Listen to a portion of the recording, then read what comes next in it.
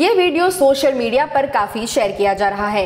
Right wing users ये clip share करते हुए दावा कर रहे हैं कि शमा बिरयानी ढाबे में गटर के पानी का इस्तेमाल कर खाना पकाया जाता है।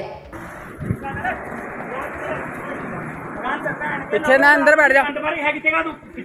क्या है रोटी बढ़िया चल रही है ना गंदे काम अंदर बैठ।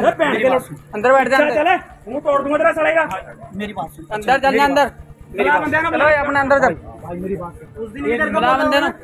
वीडियो बना के पूरी। तेरे को उस दिन कोई अपना फ़ोन ऑन कर। फ़ोन पे ऑन कर। पाँच हज़ार रुपये खाना बना। पाँच हज़ार हम रिश्वत को रहे नहीं रिश्वत को रहे हम तेरे को बकारी लग रहे तू उस दिन भी नहीं नहीं नहीं।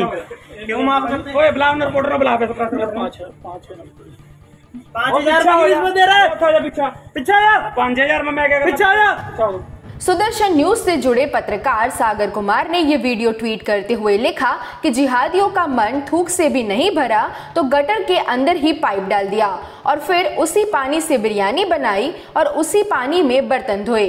अगर आप ऑल्ट न्यूज़ के आर्टिकल्स पढ़ते होंगे तो आपको सागर कुमार की हिस्ट्री बताने की ज़रूरत नहीं, क्योंकि वो अक्सर सोशल मीडिया पर सांप्रदायिक गलत दावे शेयर करते रहते हैं। सुदर्शन न्यूज़ ने भी ये वीडियो ऐसे ही दावे के साथ ट्वीट किया। देखते ही देखते कई यूज़र्स ने ऐसे ही दावों के साथ ये वीडियो शेयर किया। इंटरनेट ट्रेंड के जैसे ही मीडिया चैनल्स ने वायरल दावों पर खबर पब्लिश कर दी। ऐसे मीडिया संगठनों में एशिया नेट न्यूज़ पंजाब केसरी विजयवाणी और न्यूज़ भारती शामिल है। ऑल्ट न्यूज़ ने सोशल मीडिया पर वायरल इस कथित दावे की जाँच शुरू की। हमें पता चला कि ये रेस्टोरेंट हरियाणा के पंचकुला ज़िले के पिंजौर शहर में कालका पिंजौर राजमार्ग पर है। आगे इस जानकारी के आधार पर हमने ढाबे के मालिक सुभान अली से कांटेक्ट किया। उन्होंने बताया कि उनके होटल पर रोज़ाना गटर साफ़ करने के लिए एक आदमी आता है, लेकिन वो लगातार दो दिन नहीं आया। इस वजह से गटर ओवरफ्लो होने लगी। तब उन्होंने गटर की सफ़ाई के लिए मोटर लगाई और उसी वक्त ये वायरल वीडियो रिकॉर्ड किया गया था। उन्होंने हमें ये वीडियो भी भेजा जिसमें वो अपना होटल दिखाते हैं। हेलो सर, ये देखिए हमारा यहाँ पर ये बर्तन धुलते हैं। ये हमारा ऊपर टैंक है। रखा उसका पानी है ये।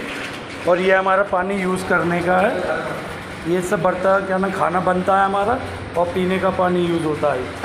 ये हम टैंक वीडियो हमारे डाल रखी है ढा- होटल की। और ये देखिए, ये पानी हमारा टैंक का ऊपर से आता है। ये बर्तन धुलते हैं यहाँ पर। और ये देखिए सर।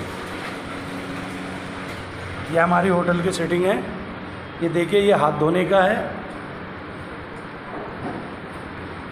और ये हमारी होटल की पूरी सेटिंग है। ये सफ़ाई हमारी देखिए। ये देखिए सर, ये हमारे वाटर कूलर है पानी पीने के।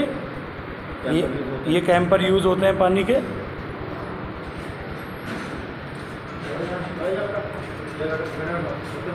ये हमारी सफ़ाई की सुविधा है। और जहाँ पर ये हमारा पानी शिविर में जाता है जहाँ पर जमा होता है सर ये। ये बाहर है रोड के देखिए। ये बाहर को निकलता है हमारा पूरा। ये देखिए। यहाँ स्टॉक होता ये स्टॉक होता है पानी का हमारा। ये ढक्कन देखिए यहाँ से। स्टॉक होता हम दो दिन के अंदर ये गटर साफ़ करा देते हैं। ये देखिए सर।